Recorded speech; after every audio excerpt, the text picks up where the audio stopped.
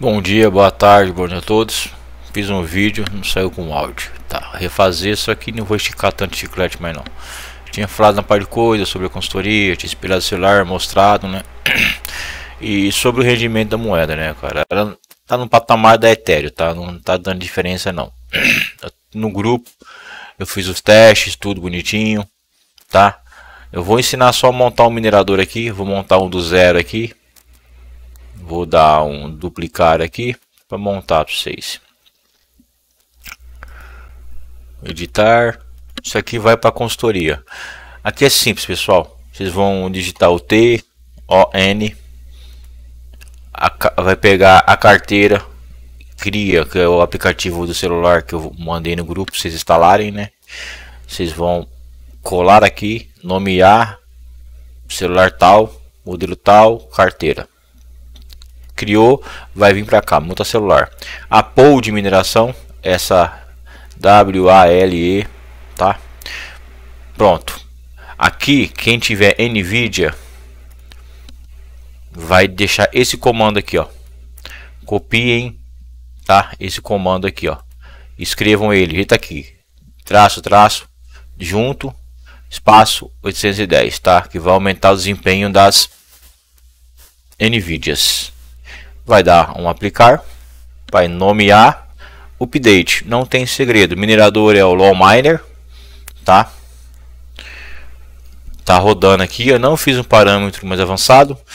Depois eu faço um outro vídeo com um parâmetro montadinho. Se quiser dividir as placas, deixar Nvidia minerando Tron, deixando AMD minerando Ethereum eu fiz uma dual mineração aqui no outro vídeo, vou nem subir esse vídeo. Eu estou gravando a tela, então vai cair. Mas se eu rodar o outro minerador aqui de Ethereum, tá? vai rodar uma dual mineração na Nvidia. Na AMD eu não vou conseguir rodar, deu um crash lá no OS. Aqui na Nvidia eu consigo rodar. Eu só dou um ganho de memória aqui no overclock consigo 22 MHz aqui e consigo 2 GHz aqui em cima, tá? A placa faz 55, certo? Fico com 2 GHz, que é 2000 MHz. Fica interessante o meio termo. Ela vai ficar como zero por enquanto. Vamos deixar rodar um pouco mais. Tá, ó, 2000 aqui em cima já. Reportando no Tron. É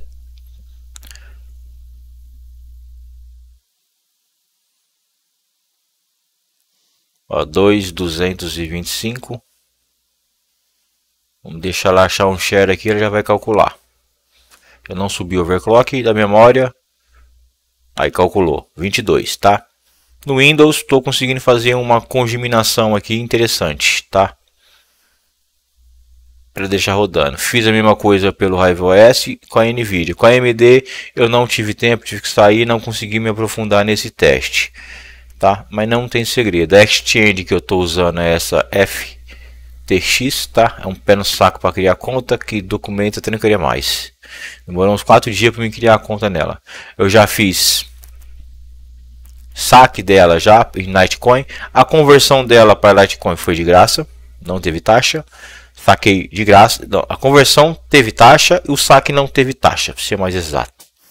Eu gostei disso certo? Eu estou usando a carteira desktop, desktop não, de celular. Se eu pegar aqui, deixa eu só linkar o celular com o computador. Já vou ficar aberto na carteira.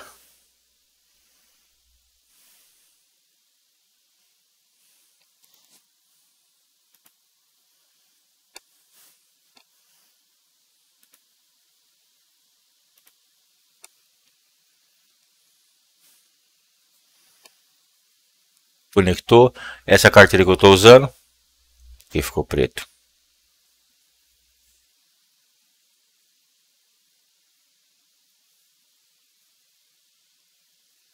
Voltou. Tem alguma falha na carteira. Tem a carteira que bugou. Deixa eu fechar tudo.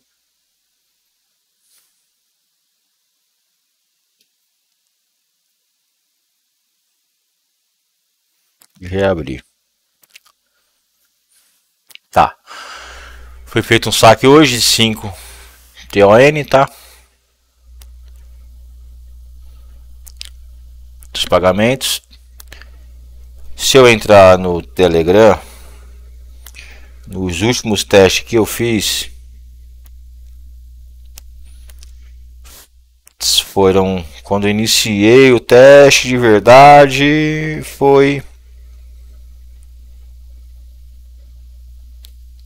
tá a meio-dia do dia 7 rodou até dia 8 dia 9 eu fiz o último saque tá até dia 9 deu 16 dólares na cotação atual tá com 155 MHz deu a mesma coisa do Ethereum. Não deu diferença, tá? Ah, mas como assim? Isso é uma parte de vídeo que estava dando diferença. Foi o que eu falei no grupo. Tá? Se eu voltar aqui e pegar a moeda e entrar no valor dela, vocês entenderem.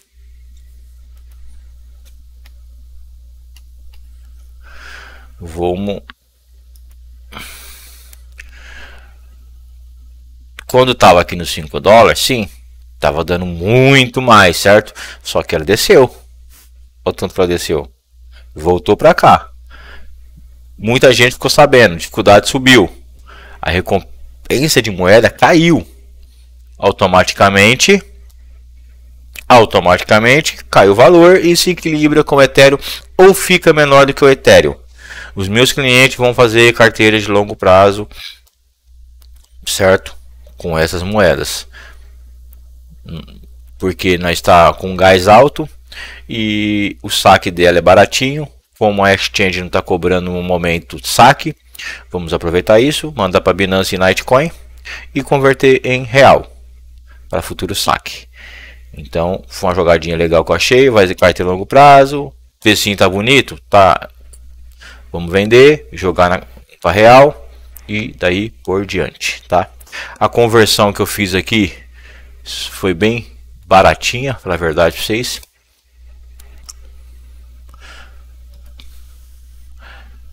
Eu converti, ó, 5, certo? Em eu cobrou de taxa de Litecoin 222, isso vai dar em reais Deixa eu entrar aqui. Vou até mostrar o celular aqui. No preço atual, velho que eu vendi mais barato lá embaixo, mas subiu. Vai dar 0,022. Paguei 17 real na conversão, tá? Eu fiz uma conversão rápida poderia ter feito a conversão sem eu fiz converter direto por aqui não fiz pela boleta tá o próximo vai ser pela boleta para ver se fica viável tá cobrou uma tron né equivalente a uma tron foi a taxa de conversão o saque eu não paguei nada então se eu fazer uma um outro modo de conversão pode ficar interessante tá então tá aqui ó tá rodando certo? Tá rodando também no Windows, tá? Tá com menos desempenho porque eu estou gravando com dois softwares.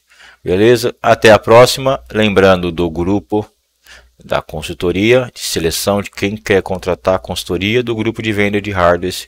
O preço não está tão legal e coisa rara eu estou pondo de vez em quando os precinhos lá, mas tá meio complicado os preços esse ano, tá? Até a próxima.